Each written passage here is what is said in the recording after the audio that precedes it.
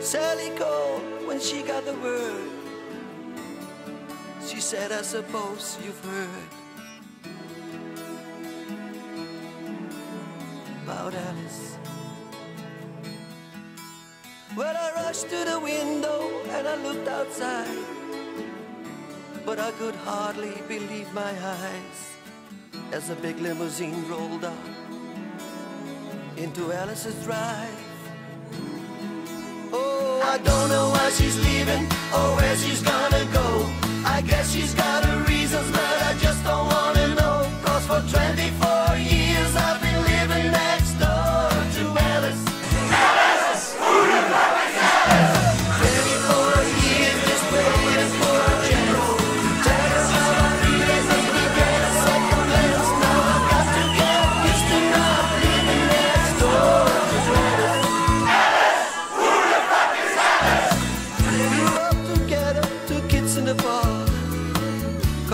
Carved our deep in the bark.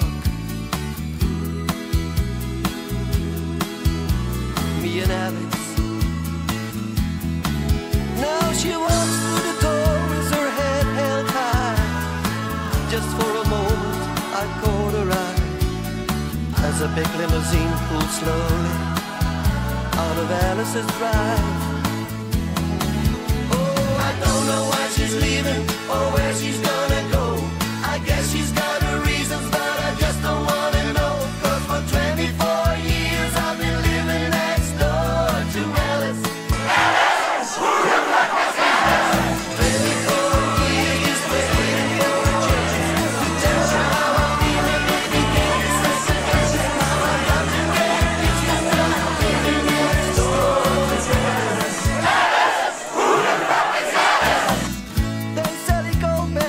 and asked how I felt.